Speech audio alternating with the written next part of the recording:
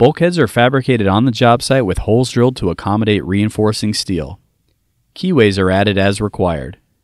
The EFCO spreader tie is ideal for blocking the bulkhead. Spreader ties should be placed on 24 inch vertical centers to retain the bulkhead. This helps to ensure a true vertical construction joint. It is a good idea to add a block of lumber behind the spreader tie. This will add strength to the bulkhead. Keyways can be nailed to the bulkhead when required. When specific locations for construction joints are required, the blocking behind the spreader tie can vary to meet project requirements. When a water stop is required at the construction joint, the bulkhead must be built in two halves. A sufficient space must be blocked between the tie and the bulkhead to allow the water stop to remain in place. On higher walls, it is advisable to place a vertical aligner adjacent to the bulkhead to maintain vertical alignment. As wall height and thickness increase, it will be necessary to brace the bulkhead.